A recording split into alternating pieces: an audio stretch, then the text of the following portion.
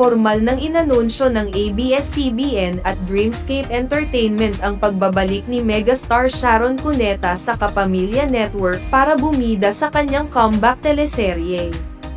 Nitong Webes, July 3, 2024.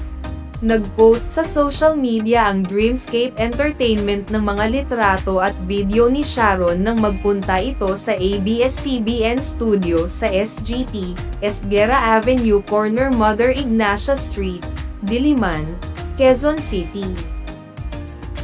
Sinalubong siya ni na ABS-CBN Chief Operating Officer Cory Vidains, Star Magic Head Laurenti Jogi, at Dreamscape heads Kylie Manalo Balagtas at Rondel Lindayag. Mababas ang caption nila, Welcome home. Mega start Miss Sharon Cuneta. We missed you, kapamilya. Bagamat wala pang ibang detalye tungkol sa gagawing teleserye ni Sharon. Inamin ng megastar na ngayon pa lamang ay na-excite na siya sa tatakbuhin at kahahantungan ng kanyang pagbabalik serye. Bukod dito, excited din siya sa mga makakasama niya rito. It's been excitement, joy, na-overwhelmed ako, natutuwa ako, kinikilig ako.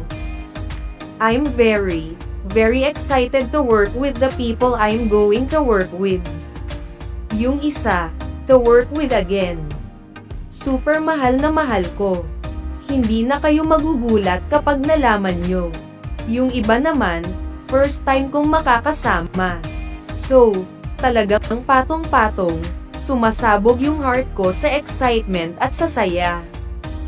More than anything, it's me being back in my home station. It's being with kapamilya. It's just being home. Saad ni Sharon sa panayam niya sa ABS-CBN on Q.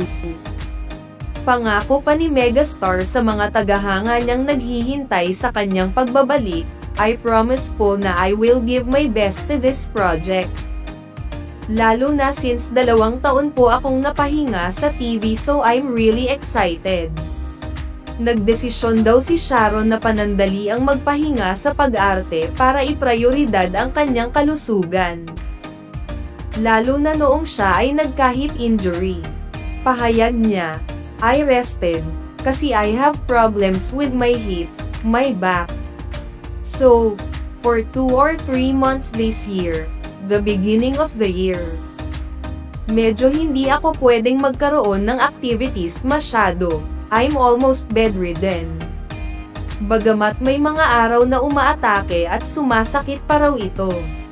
Paniniguro ni Sharon na okay na siya at handa na siya muling sumabak sa taping. Sabi niya, Health matters but it's manageable now.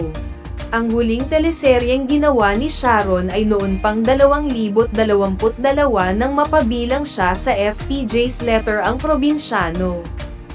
Bukod sa teleserye, gumawa rin siya ng pelikula noong 2023, ang Family of Two, kasama ang kapuso actor na si Alden Richards. Ang pelikulang ito ay naging kalahok sa Metro Manila Film Festival, MMFF, 2023. Habang isinusulat ang artikulong ito ay wala pang inilalabas na detalye kung kailan mapapanood ang comeback teleserye ng ni Megastar at kung sino-sino ang kanyang mga makakasama. Huwag kalimutan mag-like, comment, share at subscribe sa channel na ito for more showbiz updates.